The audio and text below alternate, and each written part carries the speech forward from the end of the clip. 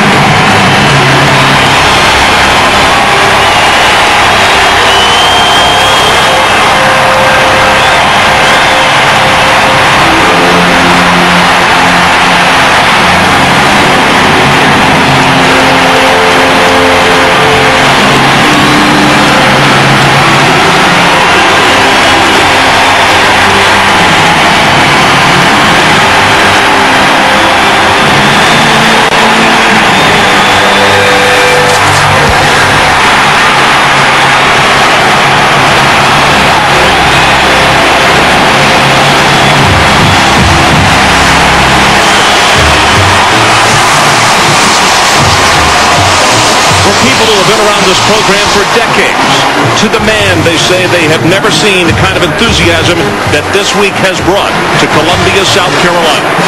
Mike Gottfried and Adrian Karsten join me when we come back to Columbia. It's the Gators and the Gamecocks. Kickoff just moments away.